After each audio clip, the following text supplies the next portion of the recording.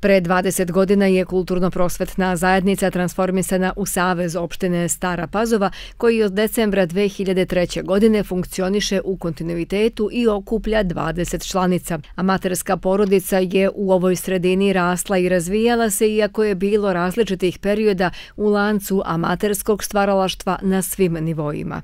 Nismo zadovoljni onim što se dešava po vertikali mi smo na opštinskom nivou, uz to što uvek možemo neke stvari i bolje organizovati, možda i popravljati, ipak e, u sistemu dobro se povezali sa našim članicama.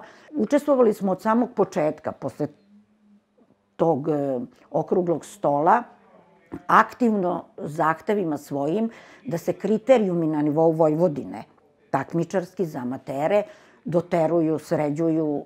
To je potrajalo, Bog me, dugo, ali smo bili vrlo aktivni i doprineli da se neke stvari menjaju.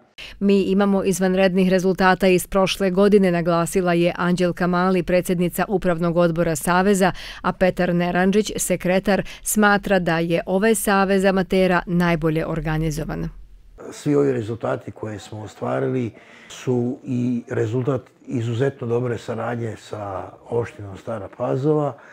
Mi smo pre e, nekoliko godina uspeli da e, funkcionisanje Saveza stavimo u budžetsku raspodelu. Znači, posebno smo, posebno smo stavka u budžetu e, i to nam na neki način daje neku sigurnost Izveštaje o rezultatima stvaralaštva pišu kao letopise, a iz njih se može saznati o svim uspesima kojih nije bilo malo u prethodne dve decenije. 2011. je obnovljena i dodela najvišeg priznanja u kulturi u ovoj sredini, plakete Svetlost, koja se tradicionalno uručuje oko dana Svetog Save.